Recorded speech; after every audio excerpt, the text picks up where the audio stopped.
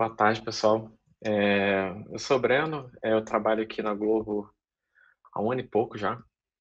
É, eu trabalho no time do Cartola, é um fantasy game de futebol, é, acho que é bem conhecido aqui no Brasil. É, e hoje eu vou falar é, sobre é, escalabilidade de dados e os desafios que a gente tem é, quando a gente está tentando é, criar sistemas de dados aí para muitas para muitos usuários. Né? então acho que todo mundo já, já, deve, ter, já deve ter feito alguma coisa aí com esse tipo de arquitetura, né? É uma arquitetura bem padrão assim no em desenvolvimento web, que é o quê? É, o, é os usuários é, meio que acessando o, o, banco de dados, né, direto.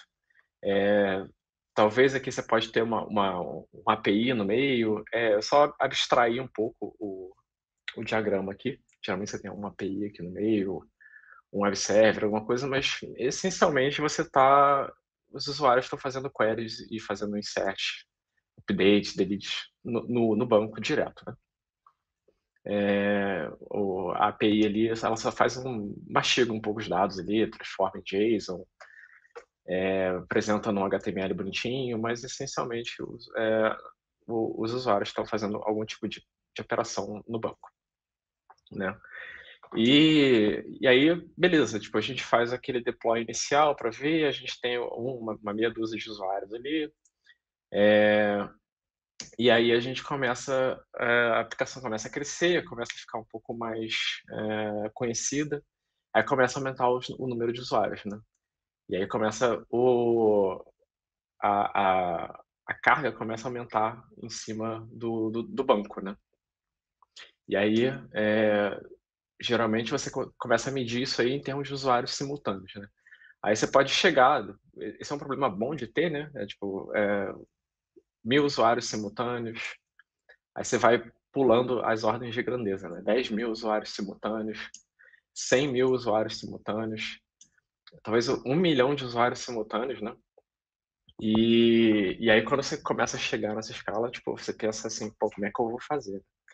E, e às vezes, muitas, muitas das pessoas, assim, elas acabam, acabam pensando assim, tipo, pô, bota na nuvem que lá, tipo, você escala horizontal e, tipo, pô, a escalabilidade na nuvem é, é infinita?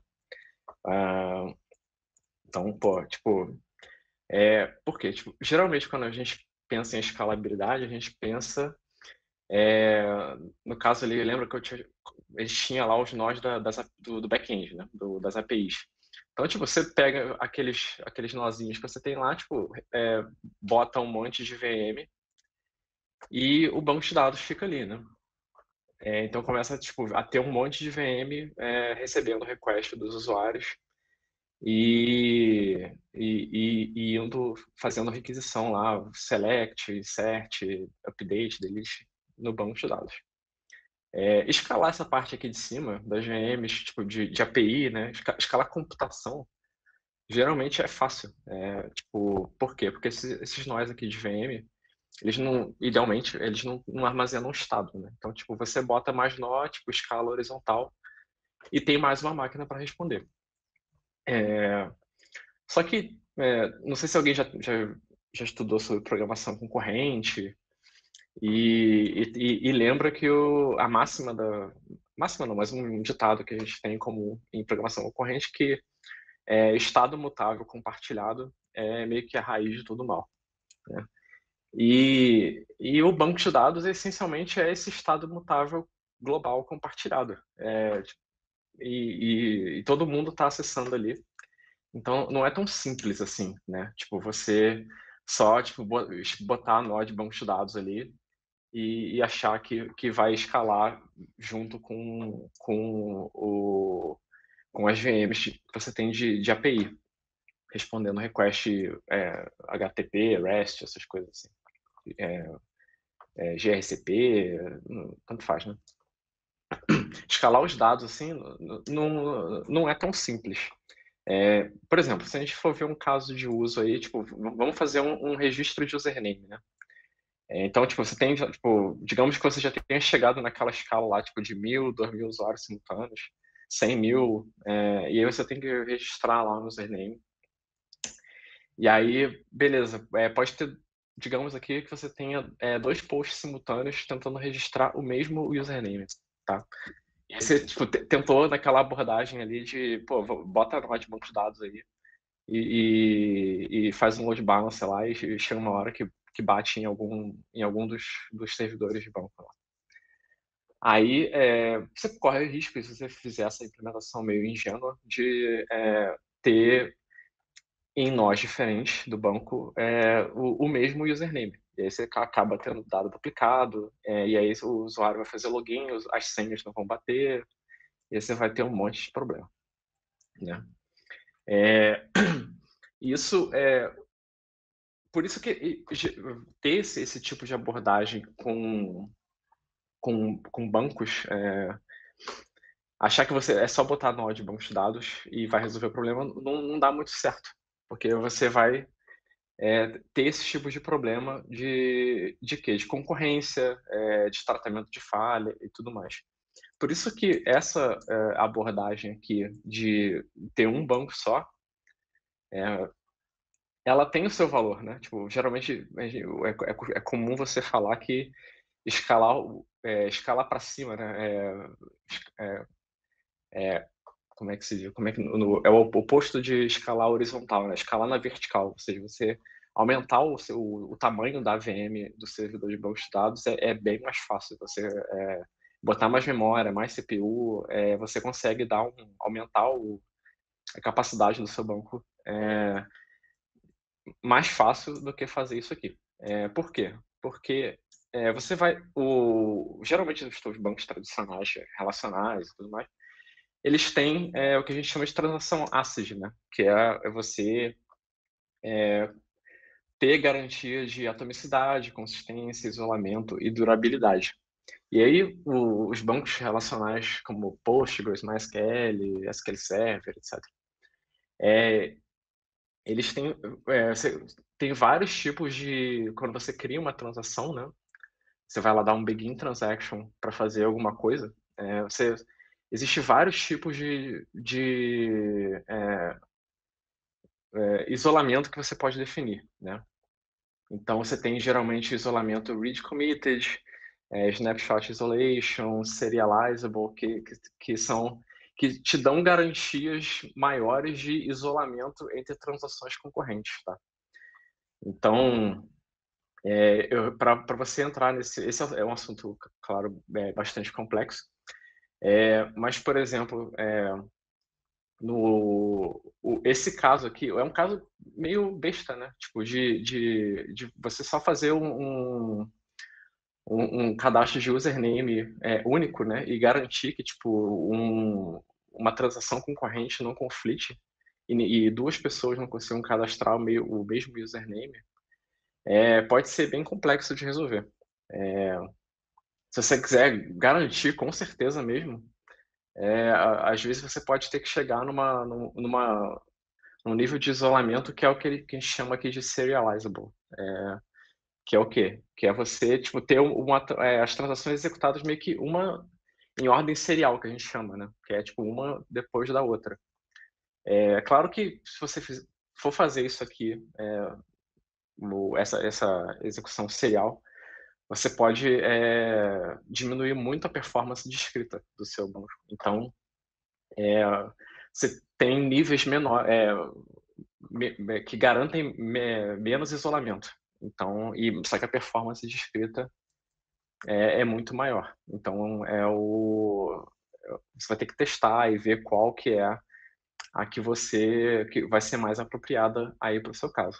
É, eu recomendo bastante ler esses dois links aí que estão é, no, no slide, é, que, que, eles descrevem é, mais ou menos bem o, quais são as anomalias que você tem quando você tem concorrência na escrita.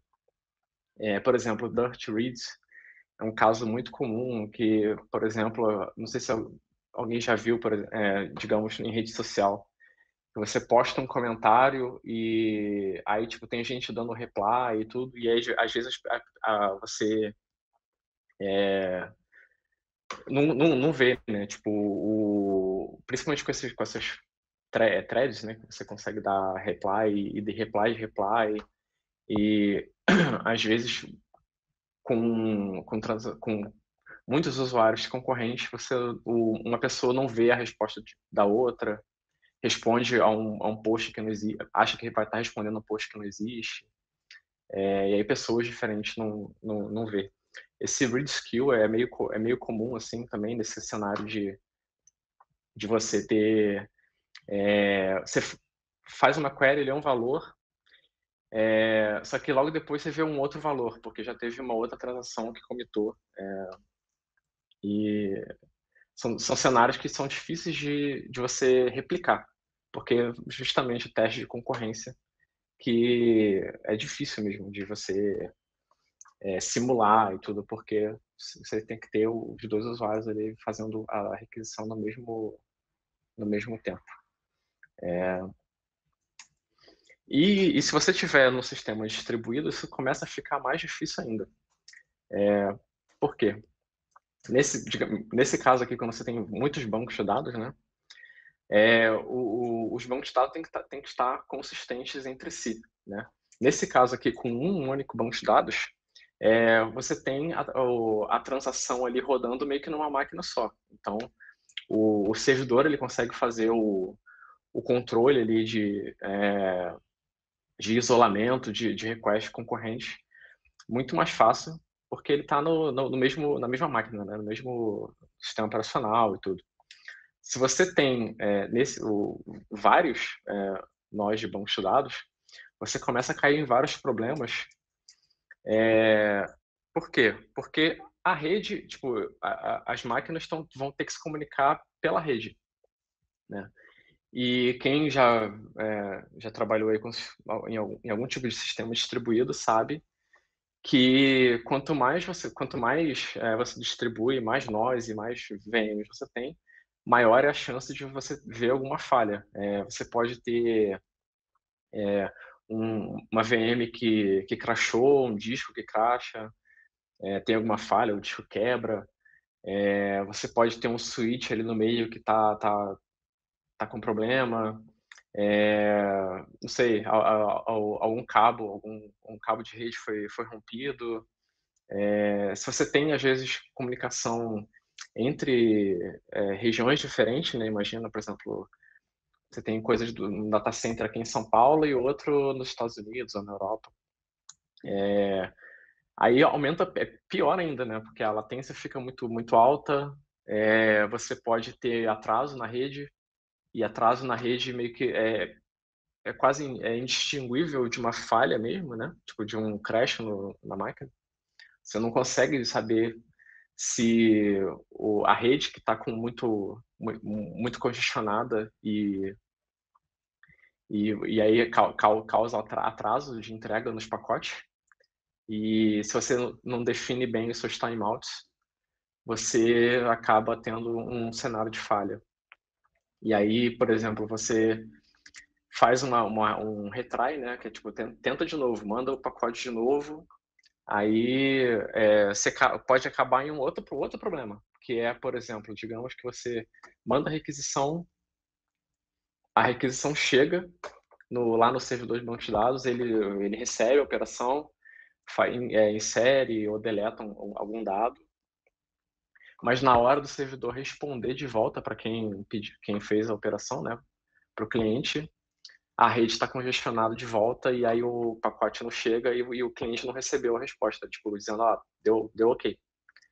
É, e aí ele tenta de novo e aí você pode acabar com um dado duplicado. Então você tem que, às vezes, detectar essas operações duplicadas, ou então fazer alguma operação indepotente. Para quê? Para que quando você faz esses retrais, você não, não não, não insere um dado duplicado, ou então tenta deletar um dado que já foi deletado. É, então, é, toda, toda essa latência de rede é, e, e, e, servidores falhando, é, falhas ocorrendo o tempo todo, dificulta muito você ter esse tipo de computação distribuída. É, outro problema que é muito comum também, por exemplo, se você tem é, vários nós na rede, né? Tipo, tem, digamos que você tem muitos, muitos servidores de, de bancos de dados lá, e você ter sincronia de relógio no, nos servidores não é, é difícil. É, por exemplo, por quê? Porque os relógios internos do, do, dos servidores eles podem eles, eles vão atrasando, é, eles vão saindo de sincronia é, é, com, com o uso, com o tempo, conforme o tempo vai passando. É, você pode ter casos ali tipo de, de segundos bissextos. É, e aí, por exemplo, como é que você define uma ordem de, do que aconteceu primeiro? Digamos que uma transação, uma transação é, T1, né? Aí tem, você tem uma transação T2, uma transação T3 e cada uma com a é, dependência numa na outra. Aí você tem que sincar esses, essa ordem temporal de, de que T1 aconteceu antes de T2, que aconteceu antes de T3. Se os relógios estão fora de ordem, é, é, você pode ter vários problemas aí. É, isso é para você saber que isso aconteceu é, é, bem difícil. Você vai ter que ficar lendo log, procurar e, e pode ser um inferno você conseguir descobrir que por causa de um relógio fora de sincronia entre os servidores ABC, você ou uma replicação de um dado ou tipo, de uma transação não, não bateu ali a, a ordem de causalidade ali de qual transação afetou qual. É, e aí, mas, mas, aí você chega no problema maior ainda, que é que você, tipo, se você tem o, os servidores aí distribuídos geograficamente, como eu falei, né, um aqui em São Paulo, um aqui no Brasil, outro na Europa, outro nos Estados Unidos, isso fica exponencialmente pior. É, isso tem, tem, solução, tá? É, então, quando você precisa realmente tipo, é, ter é, transações distribuídas, existem alguns protocolos que você pode usar para fazer isso. É, o mais conhecido deles é esse two-phase commit, é, que é o que? Você geralmente tem um coordenador ali que diz, ó, o, você, você tem lá o banco de dados 1, banco de dados 2, ó, se prepara aí, vamos entrar numa transação. Aí ele via lá uma mensagem para o banco de dados 1, para o banco de dados 2. Podemos entrar numa, numa transação? Podemos. Aí eles dizem lá, vamos, vamos embora. Aí o coordenador diz, ó, então vamos, comita aí esse, o, o valor X aí. Aí, se, se os dois responderem que, beleza, comitei, comitei, o coordenador diz que a transação comitou em todo mundo e, e, e funcionou. E aí você tem o, todos os, os nós de bancos de dados com o mesmo valor consistente. É, o problema desse, desse protocolo é que o coordenador, ele, ele, a comunicação coordenador ou o coordenador pode falhar. E aí, se você, é, no meio da transação ali, ele falha e, e o, o, os nós ali ficam inconsistentes um com o outro, é, um comitou e o outro não comitou, você pode ficar num, meio que num, num, num, num retry infinito ali de um tentando é, comitar e aí você fica num, num meio que num deadlock ali. Aí tem que ir alguém e, e dar um reset, meio que manual, ou então o sistema meio que dá um rollback é, no, na transação distribuída. Isso tem, é, não é muito bom.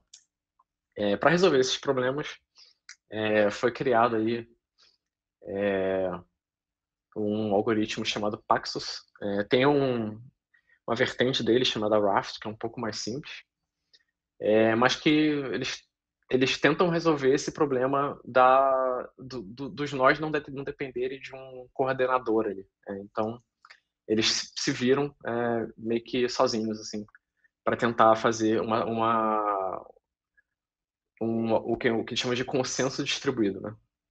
Ou seja, todos os nós entrarem em consenso de que aquele valor é o valor novo. É, então, ele funciona meio que num... Algum nó, né? Que a gente chama de, de proposer. É, ele envia, ele manda um broadcast para todo mundo. Ó, eu, eu quero é, iniciar um, uma transação nova. Aí ele manda um prepare com um número, que é é, ele manda um número e aí todo mundo verifica se esse número que ele que esse proposer enviou é, é maior é, que o, o número que mais recente que a pessoa que todos os outros nós já, já, já viram. É, se, é, se, o, se, se esse número que o proposer envia é maior, então beleza, então a gente pode, é, pode começar uma transação. Aí beleza, aí todo mundo diz, ah, beleza, vamos, vamos começar. Aí o proposer diz pra, manda o broadcast de novo para todo mundo, ó. É, ele manda o mesmo valor, R ali, e o, e o, o valor de fato que ele que, que tem que ser tem que ter o consenso, um, um V ali. Aí ele manda para dar o broadcast para todo mundo. Se o, o R continuar é, igual ao que o, os acceptors deram o accept, né? então é, aí eles fazem o commit e dizem para quem para o proposer, ó, aceitei aqui. Aí se, se tiver uma maioria, é, se chegou a um consenso. É, se, se por, por algum, algum acaso é, algum esse R não bater, então o, ele, alguém dá, rejeita e aí não, não tem não tem maioria e aí você não não chega no consenso e aí você diz proposer, ó, proposer, incrementa teu R aí e tenta de novo e fica nesse loop aí. É, por isso que é meio lento, né? Porque porque tipo se você tem muita gente tentando é, é, criar consenso ao mesmo tempo, esse R pode estar aumentando e aí você é, pode ficar difícil de você chegar em algum consenso. É, um exemplo, tipo, trazendo isso para o mundo, é, o cotidiano, né? Tipo, a gente lembra que quando podia ir para o escritório, né? Era difícil você, por exemplo, na hora do almoço, entrar em consenso no grupo. Quanto maior, quanto maior o grupo, né? mais difícil era entrar em consenso da onde ia almoçar. Quando a gente ia tentar achar um restaurante, algum lugar para comer, é, num grupo pequenininho de duas, três, quatro, cinco pessoas, era mais ou menos fácil. Se, se o grupo aumentasse muito, é, era toda, toda hora alguém dando uma, tentando propor alguma coisa e nunca se chegava a algum consenso. É, é mais ou menos a mesma ideia. É, e aqui do, do lado direito aqui, é, digamos que o que o, o, o proposer, é, esse, digamos que ele, que ele mesmo cracheie, é, o algum alguém que deu o accept dizendo ó, é, eu, eu, vou eu vou tentar fazer esse eu, eu, eu, eu comitei esse valor local é, mas se o proposer lá não não não não, diz, não responder dizendo que o consenso chegou alguns dos acceptors vão vão vão meio que tomar o, o, o manto ali do proposer e vão dar continuidade ao, ao processo do, do, do Paxos. Tá? Então, o, a, é, o, o, o resultado aqui é, tipo, é possível chegar em consenso é, distribuído, só que o problema aqui é justamente chegar em consenso e com, com muitos nós. Quanto mais nó tem, é, mais difícil é e pode ser e, pode e mais demorado pode ser. Se você é, tiver muita gente tentando chegar em consenso ao mesmo tempo. É, algumas, é, alguns bancos aí que tipo tem que é, implementam esses, esses algoritmos de, de consenso distribuído e garantem uma forte consistência, inclusive é, geodistribuída em vários em várias regiões diferentes é, é, é, o, é um projeto do Google chamado Spanner e tem uma implementação open source dele, que é o CockroachDB. É, é, beleza, mas pô, será que eu preciso disso tudo? É, é, não sei se às vezes pode ser um, um, meio que um overkill tentar usar essas tecnologias. Por exemplo, aqui, aqui eu fiz uma, uma conta de padeiro aqui, é, por exemplo, de comparar, utilizar um MySQL e um Cloud Spanner. Então você vê a diferença de preço. É, no, o, o Spanner usa, custa quase 20 mil dólares, é uma ordem de grandeza a mais. O, o custo do, do, do MySQL, do, do, do Spanner comparado com um banco relacional simples. É, então você, é muito provável que você não precisa disso tudo. Tá? E e existem alternativas para você é, ter é, uma escalabilidade de dados sem precisar dessa toda essa parafernália. É, uma delas é replicação. é, que é o quê? É você ter um, um, um nó que gente chama de líder e ele, é, ele, ele sincroniza o... Quando, quando alguém faz uma operação de escrita no, no líder, ele replica é, os dados novos que ele, que ele vai recebendo em nós que a gente chama de réplicas. E essas, esses nós réplicas eles podem ser usados para operações de leitura. É, então você tem um nó só que aceita operações de escrita e vários nós que aceitam operações de leitura. Então, é, se você tem um caso de muito mais escrita do que de muito mais leitura do que escrita, é, esse esse tipo de replicação vai te é, ajudar bastante.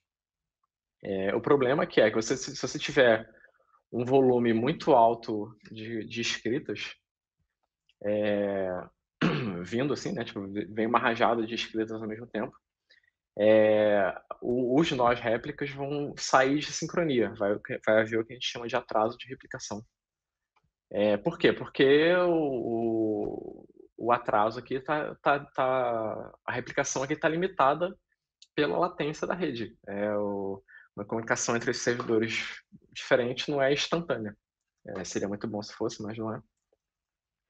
é então, isso é, pode causar um, um, atraso de aplicação e o que a gente chama de consistência eventual aí, de, de dos nós de réplica. Tá? Então, por exemplo, essa, essa é abordagem que a gente usa no Cartola. É, a gente tem uma arquitetura muito parecida com essa para o banco de dados. A gente tem um nó líder ali, que aceita as, as operações de escrita, e ele vai replicando para vários nós, de, nós réplicas de leitura. É, e aí o que a gente faz? Quando o atraso, se o atraso sobe muito numa instância, é, a gente tira é, essa, essa, instância que está muito atrasada, ela meio que sai. É, ela para de aceitar a requisição para é, os usuários não, não ficarem vendo é, o dado muito, muito antigo, muito atrasado. É, e isso aí ajuda bastante no, no, tirando a pressão do, do nó líder. E, tipo, o, o nó líder fica livre para fazer as operações de escrita e os nós de réplicas ficam é, que você consegue escalar, é, você pode ir adicionando mais réplicas conforme você vai precisando e deixar essas réplicas para responder operações de leitura. E aí você bota um load balancer ali e as, aqueles, aquelas várias VMs que você, é, você tem, elas vão, é, elas vão é, sendo balanceadas ali na, nas réplicas que você tem. Tá? Isso é, é bem bom para você escalar operações de leitura. Tá? É, uma, outra, uma outra abordagem que você pode ter também é particionar. É, se, se, se, as suas operações de escrita estão aumentando muito e você não consegue é, aumentar o, a, o tamanho da, da, da, máquina do, do líder lá de escrita, você pode ter, é, você pode particionar o, os seus dados, né? Então você vai ter é, vai, é, alguns líderes responsáveis por algumas partições. É, então, é, aqui, por exemplo, digamos que você tenha lá o, o, os usernames, né? é, tem um banco de dados de usuários e aí você é, particiona o, os usuários, por exemplo, o primeiro servidor vai receber os usernames que começam de A a J, o segundo de K a Q, o terceiro de R a V, R a U, desculpa, e o quarto de V a Z. É, aí é, você tem esses quatro, o, quatro nós respondendo unicamente para um, uma operação de escrita que caia nessa regra aí. É, o problema é que tipo, você pode ter um, um nó que fique, que, que fique muito quente, né?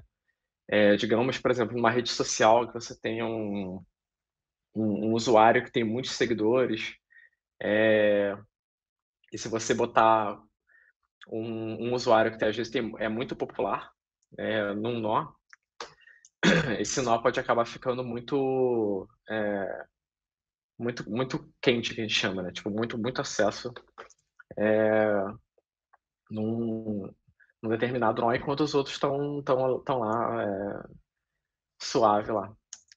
É, então, uma, uma chance de você diminuir um pouco é, esse é, e distribuir um pouco melhor o, o, os nós, meio que mais aleatoriamente, é você fazer é, rachear é, o, uma, uma chave ali, né? tipo, por exemplo, você racheia o username e aí você faz um, um módulo ali pelo número de servidores que você tem e aí você vai meio que, é, meio que aleatoriamente jogar o, o pseudo aleatoriamente jogar um username é, num banco de dados do, do nó.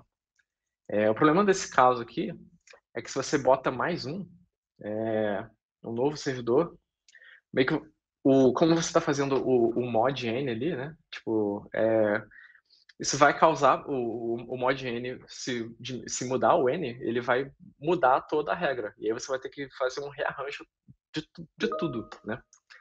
É, então isso não é, não é muito bom. É, é, e aí você, existe alguns algoritmos que a gente chama de consistent hashing, é, que isso é, é, você, em vez de a, a, essa chave aqui depender de um valor que muda, né, o, no caso aqui o n, é, você pode botar um novo nó, então um nome saído ali do cluster, é, você tem o que a gente chama de consistent hashing, que é um, um hash mais consistente que, que não muda tanto.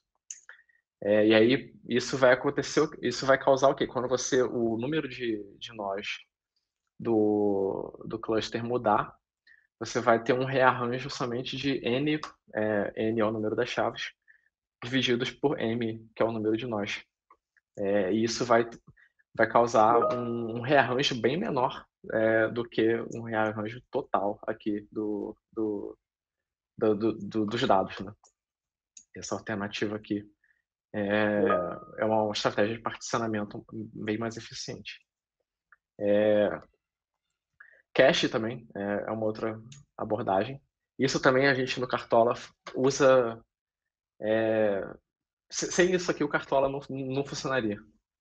É, que é o que? É você ter o. São níveis de cache diferentes. Né? Tipo, quando você tem uma, uma, uma operação de leitura, é, no Cartola, por exemplo, a gente tem servidores de front-end que tem o cache HTTP local, aquele MaxStation, e, e eles, o, esses servidores de front-end, eles têm um, um, um, cache local. Se, se esse servidor de front-end não tiver o dado, ele vai na API e na API a gente, a gente checa, ó, esse, a gente tem, é, a gente vai lá no, no, no main cache e verifica, ó, esse, dado existe no main cache. É, se existir, a gente retorna o dado aí o, retor o, o, o dado vai, vai lá, o, responde para o servidor de front-end, o servidor de front-end cacheia local, responde para o usuário. É, se, aí somente se, se falhar nesses, nesses dois níveis de cache que a gente vai para o banco de dados. É, e aí faz a query lá, que é bem mais custosa do que simplesmente pegar um dado que está em memória ou na memória do servidor de front-end ou na memória do servidor de cache, é, main cache, ou Redis, ou, o que seja. É, e isso, é, por quê? Porque se, a gente, se cada consulta que os usuários fossem, tivesse que ir lá no banco, é, ia ser, eu, fazer uma query no banco é muito mais custosa. Então, é, no caso aqui do Cartola, que a gente tem, às vezes, picos de 50 mil requisições é, na API por segundo, é, sem isso aí, a gente não, não, não conseguiria responder. Tá? Então, é, quando você for fazer seus estudos aí de escalabilidade de sistemas, tem que definir é, o que, que é escalabilidade para você. Tá?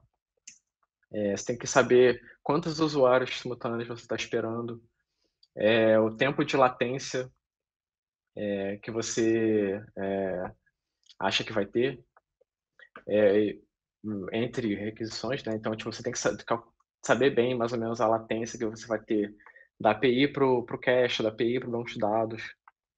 É, latência também de resposta para o cliente, qual, qual, que é o requisito mínimo de, de, de tempo de resposta para o cliente que você quer, é o que? 50 milissegundos, 100 milissegundos, 500 milissegundos. Você tem que definir esses parâmetros aí para você é, definir sua estratégia. Tá? e os requests por segundo que você espera é, e, e, que você aguenta responder, tá? E, e, com, e conforme você vai aumentando a infra, é, o, o quão, quão, quão, mais requests por segundo você aguenta responder, tá? Então você tem que testar, medir, observar e ficar sempre vendo, que é uma coisa que a gente faz muito aqui no Cartola.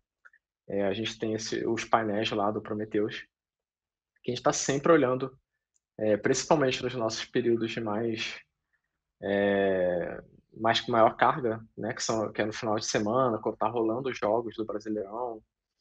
É, a gente está sempre olhando para esses gráficos aí para ver é, se, se, como é que a API está respondendo. A gente faz testes de carga, é, antes de lançar, né, todo, todo, todo ano antes do, da temporada começar, a gente faz um, um teste de carga para ver se o que se, se o que a gente fez enquanto a temporada estava parada, né, enquanto os jogos do Brasileirão não estão rolando, a gente faz o teste de carga para saber se a performance do que a gente fez nesse período não degradou muito.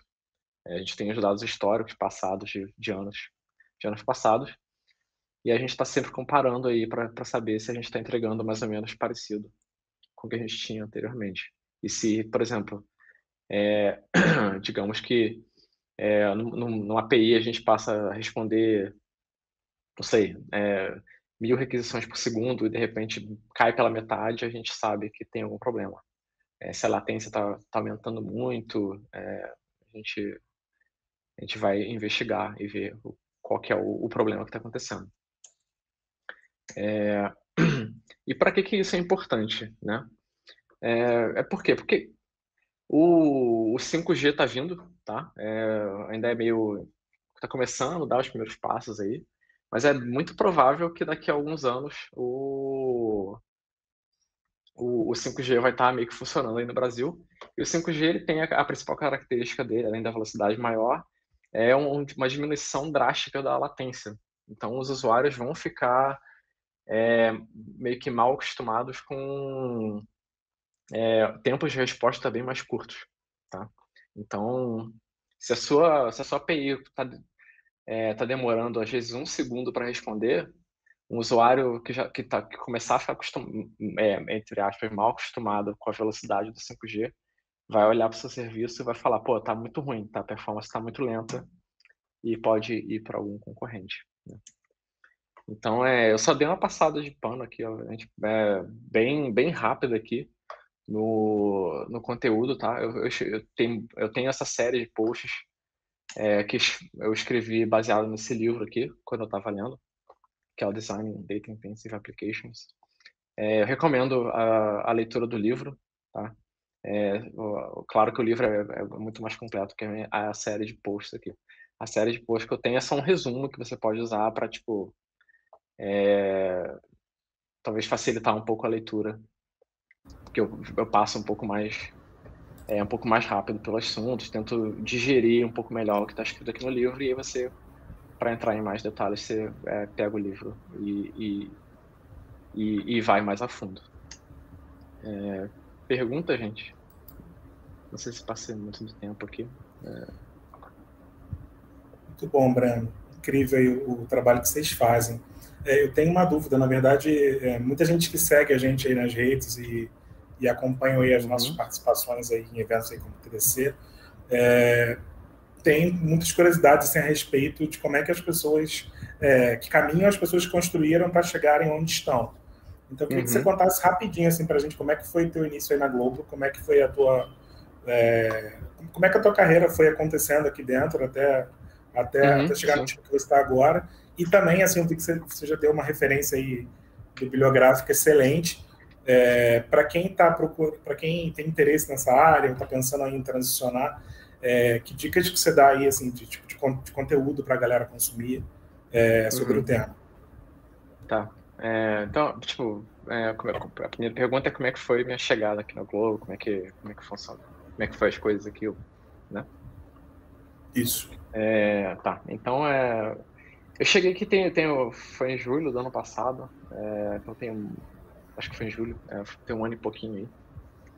É, então, é, eu comecei, tipo, o time aqui do Cartola é, me acolheu muito bem, assim, então, é, no começo, assim, eu tive, é, foi mais, tipo, me, me acostumar com o projeto, entender como é que, como é que funcionava as coisas, e só depois de um tempo, assim, que de fato estava é, contribuindo mesmo com, com, com o projeto, né. É, e um pouco tempo, assim, depois que eu comecei, começou o projeto que, que vai ter a, a palestra, acho que na quinta-feira, que é o Banco de Reservas. Então, é, a gente é, trabalhou bastante aí no, no ano passado e, e esse, no início desse ano é, para fazer o, o, projeto do Banco de Reservas. É, e foi muito legal, assim, tipo, foi um desafio, um mega desafio. E o time inteiro aqui pô, ajudou bastante assim, para entender como é que o Cartola funcionava, como é que era a API, a arquitetura do, do banco, da API, do front-end e, e, e, tudo mais. É, ano passado a gente fez uma palestra sobre como é que funciona o, a arquitetura do Cartola. É, ela está disponível no, no, YouTube aqui da Globo, que foi do TDC do ano passado, então dá para procurar lá no YouTube e, e, ver como é que ela, como é que foi a, a palestra. É, a segunda pergunta era sobre conteúdo que eu recomendo para quem está começando na área, assim? É, ou quer começar, ou é curioso. Como é que uhum. elas começam? Ah, sim, então, é, tem, acho que tem, tem bastante conteúdo hoje na internet que dá para você procurar. É, acho que tem os cursos hoje, da, acho que da, da Alura, é, que são, que acho que se, se não me engano até a gente usa aqui na Globo. É, eles têm, um, têm, têm bastante conteúdo assim para quem está começando. É, o próprio YouTube mesmo tem, tem muito tem muito é, tutorial e vídeos de da, dessa galera que, que produz conteúdo para justamente para quem está começando, né? É, então procurar um pouco sobre é, linguagens de programação, é, escolhe uma linguagem de programação que você é, talvez já, já conheça um pouquinho. Se você não conhece nada, é, procura, por exemplo, Python, é uma linguagem interessante para quem é, não, não conhece muito de programação, é uma linguagem é, mais acessível, assim. Python, a JavaScript hoje, é, para quem quer começar e quer ingressar no mercado de trabalho, tem muita demanda por programador JavaScript é, no front-end, no back-end, com Node. É, e estudar um pouco de banco de dados. Tenta, tenta acho que no começo você tem que tipo é, expandir seu leque, tenta aprender um, de pouco com tudo, de tudo um pouco. É, e aí ver, ver, o que você gosta, ver o que você acha que, que, que você gosta de fazer no dia a dia. E, e aí, aí sim se aprofunda em algum assunto, seja tipo, ah, eu gosto de programar no front-end, então vou estudar mais a fundo aqui o React, HTML, CSS, essas coisas. Se você gosta mais, ah, quero me aprofundar em bancos de dados, então começa a estudar é, SQL, é, algum, alguma tecnologia de banco, né, tipo, ou MySQL, ou SQL Server. Aí o, é, dá para ir a fundo em, em, um monte de tecnologias aí. Mas acho que no começo é bom você tentar olhar um pouco de tudo, assim, para tentar descobrir o que, que você mais gosta. É, não adianta você, tipo, ir a fundo em, sei lá, em React e você achar aquilo um saco. Né? Aí não dá certo. Beleza, respondido, Breno. É, para quem não escutou no começo, essa talk do, do Breno vai estar lá também lá no, no YouTube do Vem para Globo, assim que a gente fechar o, TDC. E o Breno vai estar com a gente de novo aqui na, na quinta-feira é, para falar aí do, do, Banco de Reserva. Breno, obrigado aí pela vinda. Quinta-feira a gente se ah, encontra ah, aqui de novo. Aí. Beleza. Até quinta-feira aí. Vai estar eu, eu e Saboia, né? No caso. Isso. Tá, a gente vai estar falando aí. Aí especificamente do Cartola, né? Aí, Show. Quem gosta de Cartola aí, você é legal. Beleza. Beleza? Obrigado aí. Até lá. Falou.